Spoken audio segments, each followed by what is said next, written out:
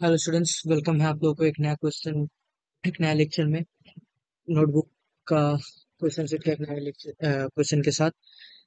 मैं हूँ आप लोगों का computer faculty teacher Sagnik Pal और देखते हैं आज का क्वेश्चन क्या है। Right special two digit number is such that मतलब two digit special two digit special number क्या होता है वो चेक करने के लिए बोला गया स्पेशल नंबर होता क्या वो पहले देख लेते हैं।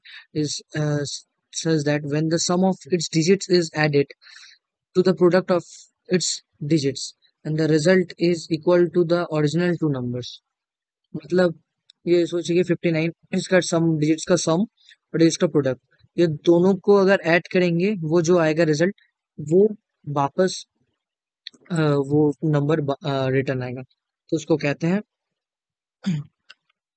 एक स्पेशल नंबर तो के इक्वल्स टू एन ले लेते हैं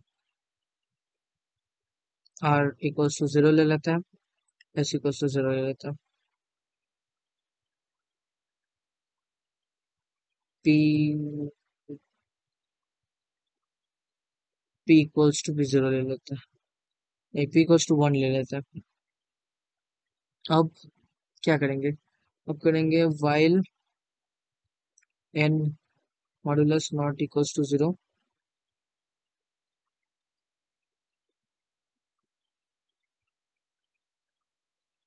r equals to n modulus 10 if sorry if कैसे आ रहा है इसमें s plus equals to r p into equals to r n divided by equals to 10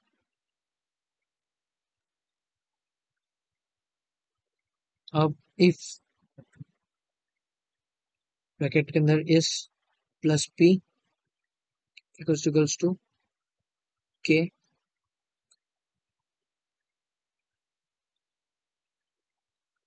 system dot out dot print L N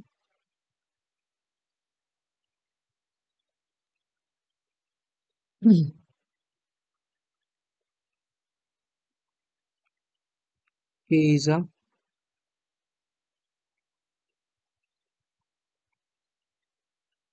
special number.